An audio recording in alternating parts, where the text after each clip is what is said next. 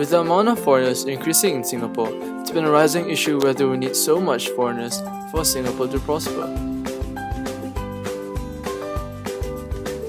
Well, first, we need to understand who foreigners are and what does it mean for Singapore to prosper. Foreigners can mean foreign workers and foreign talent. Foreign workers refers to foreigners in low-waging jobs such as construction, and foreign talent refers to foreigners in higher positions in the white-collar jobs such as IT experts. To prosper means when Singapore grows not only economically, but as well as improve our standard of living.